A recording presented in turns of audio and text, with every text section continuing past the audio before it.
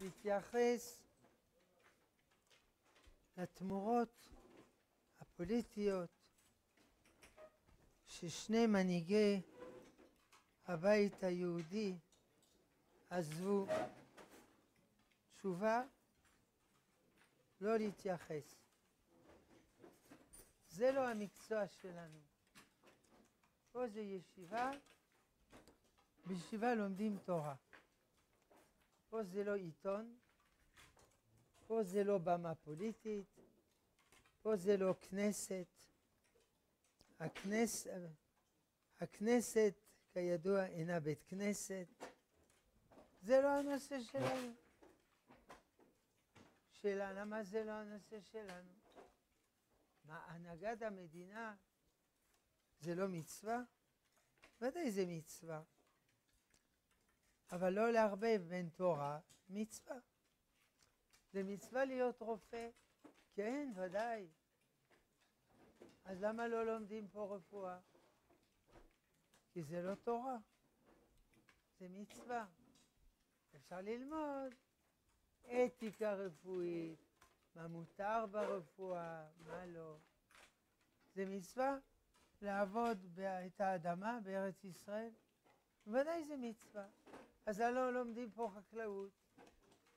אנחנו לומדים הלכות, מצוות להיות בארץ. לא לומדים פה חקלאות. זה מצווה ללכת לצבא? נו, בוודאי זה מצווה. אז למה לא לומדים פה איך מנקים נשק? כי זה לא הנושא. אנחנו לומדים מה מותר במלחמה, מה אסור במלחמה וכולו. האם זה מצווה שיהיה צדק במדינה? ודאי זה מצווה. אז למה לא לומדים פה כלכלה? כי זה לא הנושא שלנו. אנחנו לומדים בבא קמא, במציאה, בבא בתרא וכן הלאה. אנחנו לא לומדים את הדברים האלה, לא שזה לא מצווה, זה לא, לא שזה לא חשוב. זה לא הנושא שלנו. כמובן, לקראת הבחירות צריך לנתח כל המפלגות, איפה הטוב ברובו, איפה הרע במיעוטו. כי חייבים להצביע. מי שלא מצביע, זה כאילו הצביע בעצם למפלגה עם הכי הרבה קולות. אולי היא לא הכי טובה. אז לקראת הבחירות, יום לפני הבחירות, נשבור את הראש. עד אז יש תמורות, יש שינויים, יש חיבורים, יש ניתוקים, כידוע. וגם כשצריך להצביע, כבר אמרנו, מה שכתוב בשו"ת החתם סופר, חלק ו' סימן שכחתי, מובא בפתרי תשובה, חושן משפט, ח', כל התשובה כמעט כולה. כשמצביעים, כל מצביע יש לו דין דיין. דיין קטן, יש אלפים, מאות אלפים, אבל הוא דיין. הוא מכריע דברים חמורים וחשובים, ודיין חייב לומר דעתו, ולא מה שאומר דיין גדול ממנו. אסור לו לבטל דעתו. הוא חייב להקשיב בחרדת קודש, בוודאי, בוודאי. אבל בסוף צריך להחליט מה הוא חושב. ולכן בדיני נפשות, כדי להיות בטוח שלא יהיה מושפע, מתחילים בקטן, מתחילים מן הצד. בדיני נפשות, לא, ואם בגלל זה, אז יהיה טעות, אבל זה במונות, זה לא חמור כמו נפשות. אז אדם, לקראת הבחירות, הרבנים צריכים לומר מה הם חושבים, והציבור צריך להקשיב מה שהרבנים חושבים, ואחר כך כל אחד צריך להצביע מה שהוא חושב שזה הכי טוב. לא הכי טוב לו, לא למשפחתו, או לקבוצה שלו, או לישיבה שלו, אלא מה הוא הדבר הכי טוב בשביל כלל ישראל. אם כן, יש להבחין בין רפואה לבין אתיקה רפואית. יש להבין בין פוליטיקה לבין, יש שפות שיש מילים שונות. יש פילוסופיה פוליטית ויש מעשה פוליטי. פילוסופיה פוליטית זה תורה. בעברית זה נקרא פוליטיקה, זה נקרא פוליטיקה. אפשר להבחין, אם רוצים מילים, אפשר לקבל ספר אורות בין מנהיגים לבין עסקנים. המנהיג, הוא קובע כיוון, הוא מושך אל הכיוון, דוד המלך, מנהיג, בעמוד קי"ד אפסו גיבורי חיל ענקיים וירבו במקומם עסקנים נמוגים ודלי מעש בוסים ביתית חוצות של רעיונות קטנים שיש בהם מיני מסחרים חומריים ורוחניים. הפוליטיקאים הם סוחרים. אין איסור להיות סוחר, צריך להיות סוחר ישר, אבל הם סוחרים. זה לא הנושא שלנו. אנחנו לא לומדים פה מסחר, אנחנו לומדים בבא מציאה, איך להיות ישר בעסקים, לא לומדים פה תורת המסחר. אה, יום לפני הבחירות נשבור את הראש. עכשיו, מבחינת הנהגה מדינית, מה ששני אלה הלכו, על זה נאמר, ברור שפטרני. כי אחד הוא לא דתי, השני לא כל כך עם מסירות נפש לתורה. הרי בשביל זה צריך מפלגה דתית. זה מחלוקת. בין הדתיים, בין הרבנים, אולי בכלל לא צריך מפלגה דתית. אולי בכלל לא צריך מפלגות. זה ודאי הכי טוב, כמו שכותב הרב הלל צייטלין בספרו, שכחתי את השם, אולי ספרן של יחידים, שמפלגות זה שנאת חינם. אני שייך למפלגה הזאת, אתה לא שייך למפלגה הזאת, אני עוין אותך. ודאי. הכי טוב שלא יהיו מפלגות, מלך אחד מולך על כולם, כמו שאומר הרמב"ם, מצווה, ספר המצוות, שיהיה מלך המקבץ את כל האומה. בסדר. אבל בינתיים יש מפלגות. אז אולי לא מפלגה דתית. יהיה מפלגה, יהיו מפלגות חילוניות, ובכל מפלגה חילונית יהיו דתי, דתי ימני, דתי שמאלני, דתי מרכז, והוא מושך את המפלגה לכיוון הנכון. זה סברה מעניינת, ובאמת, בכל מפלגה יש דתיים. תשובה, אמר הרב סולובייצ'יק, הגריד, באחת מתשובותיו, אי אפשר לסמוך על מפלגה לא דתית כדי לקיים ענייני התורה. משל למה הדבר דומה? אבל הם מבטיחים שהם ישמרו. אני מאמין להם. אבל שאלה איך ישמרו. משל למה הדבר דומה? תראה, יש פה כספת, תשמור לי במציע, יש בה כסף. נגנבה הכספת. טוב, אני אשלם לך. לא, אבל יהיה בפנים זהב. אני לא משלם על זהב. אני משלם, זה שקל קילו, קילו כסף. אבל זה חמישים פעם יותר, אם היית אומר לי שזה זהב, הייתי שומר אחרת. אמרתי זה כסף, שמרתי פחות. אז זה אני מוכן לשלם. מפלגה לא דתית, אם היא ישרה וטובה, היא תשמור על התורה ועל המצוות, כמו כסף, לא כמו זהב. ותורה זה זהב. טוב לי תורת פיך מאלפי זהב וכסף, הנחמדים מזהב ומפז רב וכו'. לכן אי אפשר לסמוך עליהם. כל המפלגות אנשים טובים, אי אפשר לסמוך עליהם. שישמרו התורה, את התורה, גם התורה של קיום הפרט, שהפרט יוכל לקיים תורה כמו כל יהודי הגלות, וקל וחומר לשמור על התורה בתור תורת הכלל, הנהגת המדינה, כמו שהגדיר רבינו הרב ציודה, מפלגה המזרחי, תחיית האומה בארצה על פי תורתה. זה העבודה שלנו.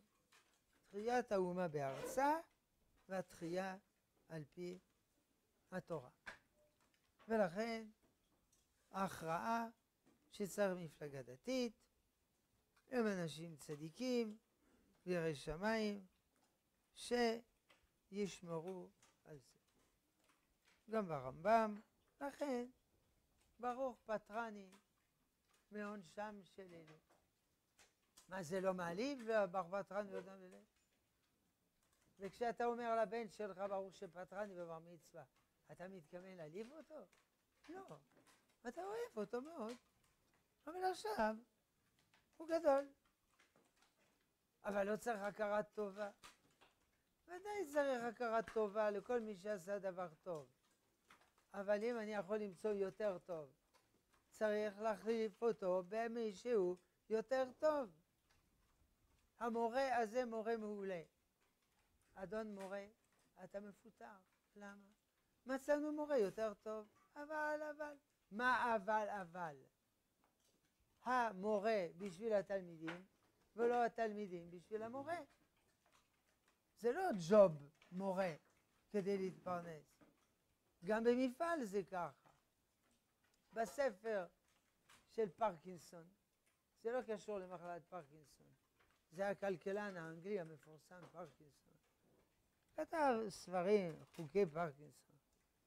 הוא שם לב שבמשרד חיל הים האנגלי הצי מצטמצם, מצטמצם, מצטמצם, ומספר הפקידים גדל, גדל, גדל, גדל. שזה לא מוצדק, אז יש בזבוז כספים, צריך לפטר. אם אתה מנכ"ל של חברה, לא חשוב מה, החברה מייצרת שולחנות, אתה צריך להיות מוכן. לומר, מיסטר תומפסון, אתה מפוטר. למה? מה עשיתי? מיסטר תומפסון, אתה מפוטר. אדם יקר ונחמד, אבל הוא לא מועיל. ופה זה לא גמ"ח, זה חברה כלכלית. אבל איך בגיל שלי אני אמצא עבודה? מיסטר תומפסון, אתה מפוטר. אבל מה יהיה עם אשתי והילדים? מיסטר תומפסון, אתה. זה חצי עבודה. חלק שני, כשתלך לישון בלילה, תירדם בלי נקיפות מצפון, כי לא עשית שום דבר רע, עשית דבר טוב. אתה רוצה לנהל גמ"ח, אין בעיה. יש מקומות שהמטרה לא כלכלית, באים אנשים מסכנים עובדים, מקבלים כסף. אותו דבר, מפלגה זה לא גמ"ח. אם יש לי, הם טובים, יש לי יותר טובים, אתה מפוטר, ניקח יותר טובים. אני שמח על מה שיש, אבל אני לא משלים ממה שיש, אם אני יכול יותר טוב. כמובן, לפטר פוליטיקאים, זה לא דבר פשוט, הם דואגים לעצמם שיהיו בורג בלי ראש. שקשה מאוד להוציא. אבל אם הוא בעצמו הולך, זה נעשה להם מסיבה, נקנה להם מתנה, איזה מתנה, אה, אני יודע מה, ספר שלי או משהו כזה, וגמרנו. ונחפש אחרים. מי זה אחרים? אנשים בעלי כישרון הנהגה מדינית וירא שמיים. מי? מה, מי? אני אחראי? אני ועדת איתור? לא אלמן ישראל. מה, מתוך פה שבע מיליון אנשים אתה לא תמצא כאלה עשרה עשרים? נו באמת. חפש ותמצא. אבל שר אנשים עם הרבה הרבה הרבה יראת שמיים. אדם פרטי צריך יראת שמיים. אדם פוליטי צריך פי עשר יראת שמיים. כי פוליטיקה זה יותר מסובך לאין ארוך. ואנחנו רואים הרבה אנשים שבחיים הפרטיים שלהם הם באמת אנשים טובים וישרים, ובפוליטיקה קטסטרופה איך הם מתנהגים. פעם הקשבתי במקרה רדיו, שמעתי מישהו דיבר ברדיו, חבר, אדם ירא שמיים, אמרתי לו, ככה אתה מדבר? כל מיני לשון הרע והשמצות. הוא אומר לו, אוי ואבוי, תודה שאתה אומר לי, אני חי באותו עולם, אני כבר לא מודע למה שאני מדבר. זה סוחב, זה מקום קשה, הכל מלא קומבינות וטריקים ושקרים, וכמו שאומר הרב קוק, עסקנים דלי מס וכולו. אז צריך להיות ירא שמיים כדי להיות יהודי פרטי, אבל כדי להיות מלך, הוא צריך פי אלף יראת שמיים.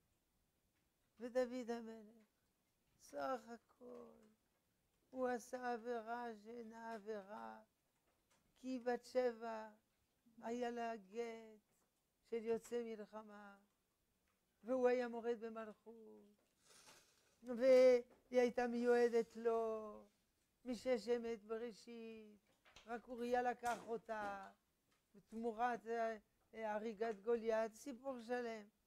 ועל זה הוא נענש ארבעתיים. מת הילד, נאנסה תמר, נהרג אמנון, נהרג אבשלום אחרי שהוא גמר, גרם למלחמת אזרחים שנהרגו עשרים אלף אנשים. על דבר קטן. מלך, זה לא מקיאוולי, מקיאוולי, וזה פילוסוף פוליטי, איטלקי, שאומר, הפוליטיקה מפקיעה את כל המוסר. אין, בחיים הפרטיים ודאי, בפוליטיקה לא. הכל מופקע, הכל נעלם. יש רק מטרה אחת, הכיסא.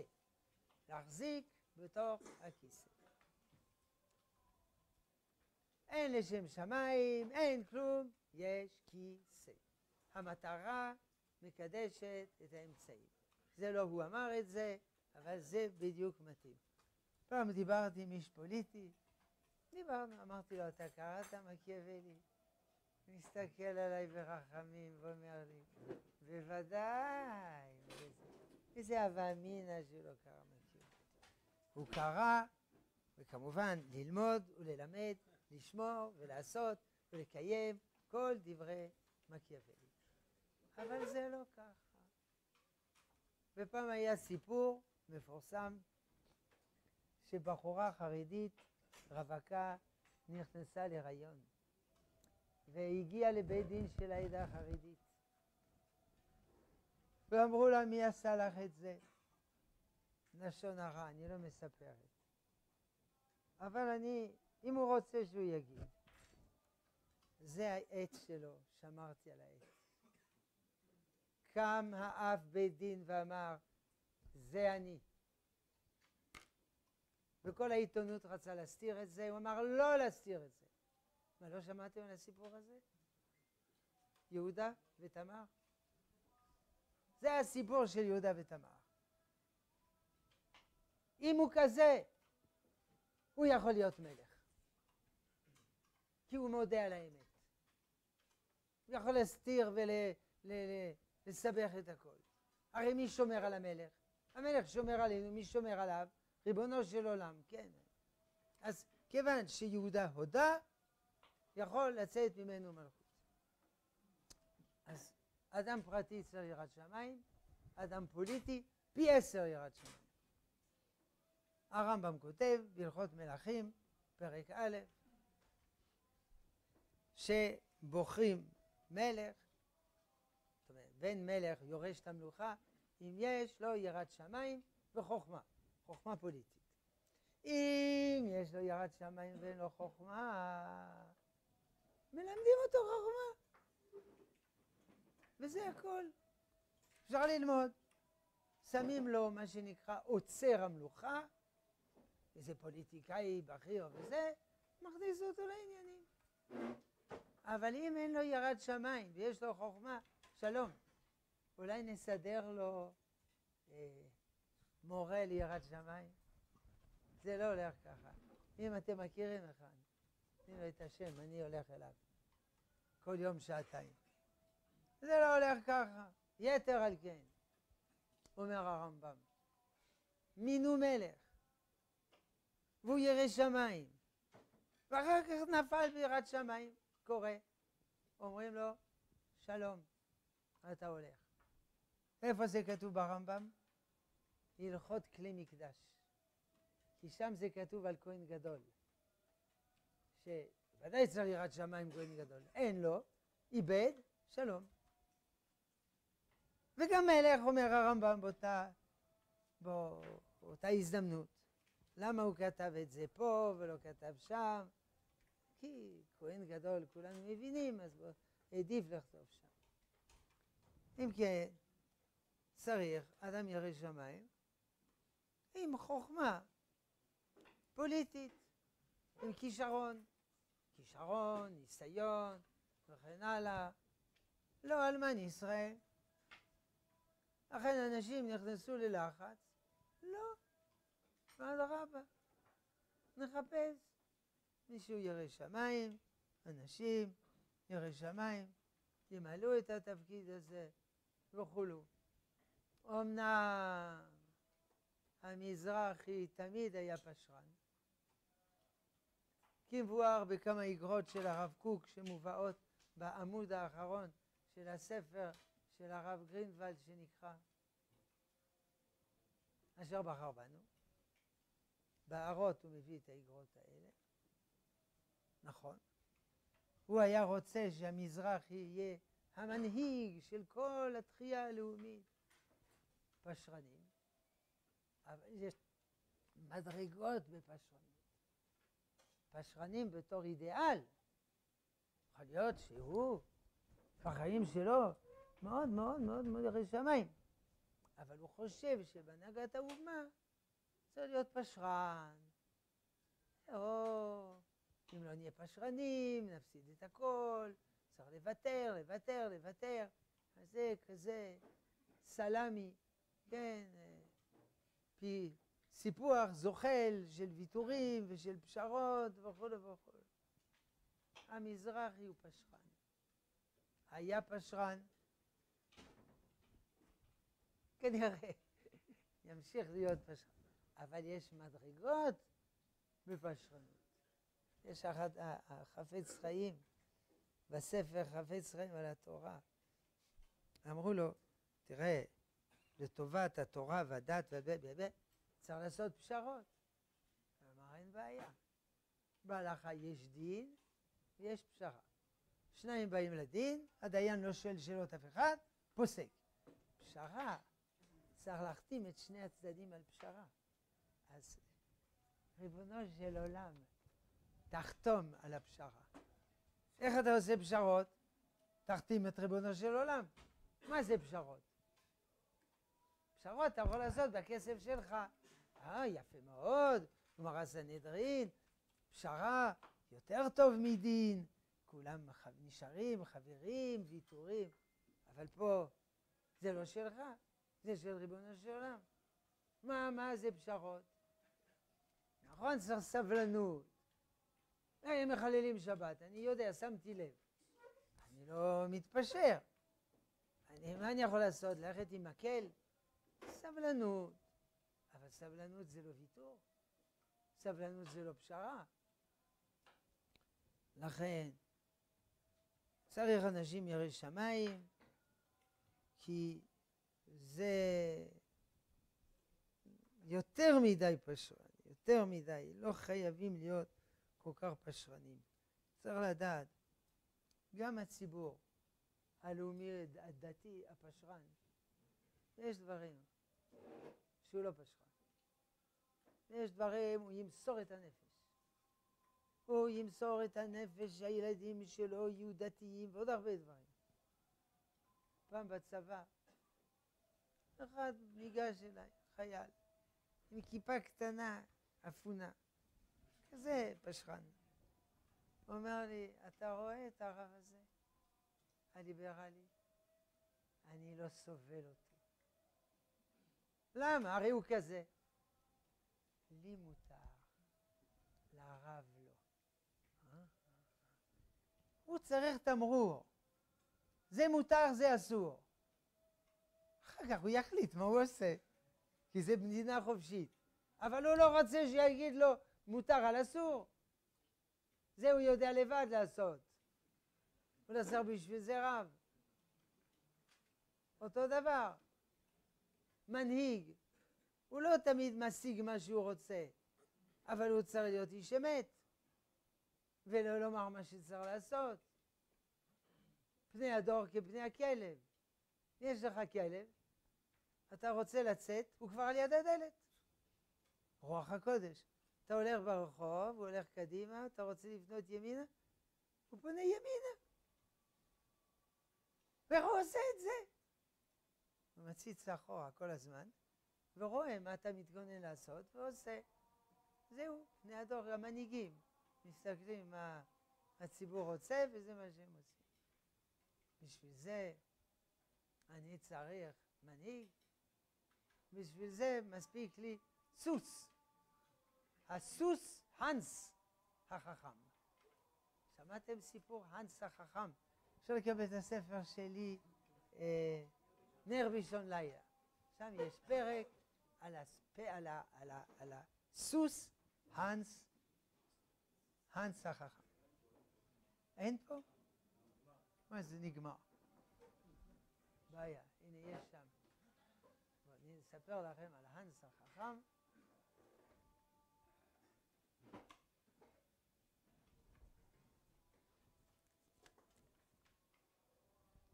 Hans.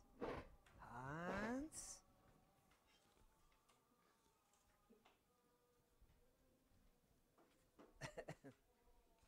הצטננות. האנס החכם, קלבר האנס, סוס מופלא, שהיה מסוגל לפתור תרגילי חשבון ולהשיב על שאלות בתחומים שונים על ידי הקשר בפרסותיו. הסוס, שחי לפני כמאה שנה, והיה שייך למורה למתמטיקה בגרמניה, היה משיב על שאלות אריתמטיות שונות שכללו חיבור, חיסור, כפל, חילוק ועבודה עם שברים. הסוס ידע לענות גם על שאלות הנוגעות לזמנים ותאריכים, זיהה תווים מוזיקליים ועוד. צוות חוקרים שמינתה ועדת החינוך הגרמנית לא מצא כל הסבר לתופעה המשונה והודיע כי לא נמצא כל ראיה לרמאות או לתרסיס כלשהו מצד הבעלים. הממצאים הועברו לפסיכולוג בשם פונקסט. פה פה, פה הראשון עם דגש, פה השני בלי דגש. פונקסט. שחקר את תגובותיו של הסוס במגוון ניסויים. פונקסט נוכח לדעת שהסוס עונה נכון רק כאשר הוא יכול לראות את השואל, ורק כאשר השואל יודע את התשובה. התברר שהסוס היה עוקב אחר שינויים בהבעות פניהם ויציבתם של השואל והקהל. כאשר היו מתוחים היה ממשיך להקיש, וכאשר הסתמנה בהם הקלה היה מפסיק.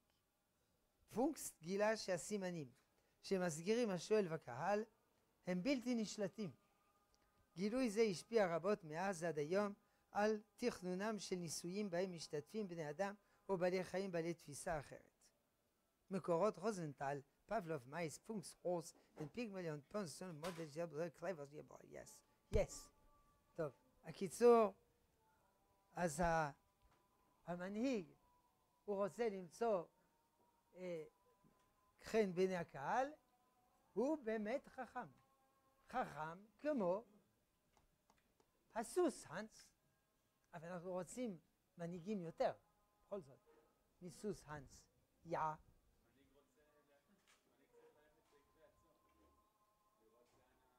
המנהיג צריך ללכת בעקבי הצאן, כדי לדעת מה הכוחות של הצאן, מה החולשות של הצאן, הוא לא חומם את הצאן. אז יש ספר עקבי הצאן, אז הוא מסביר מה הצאן. חמישה פרקים.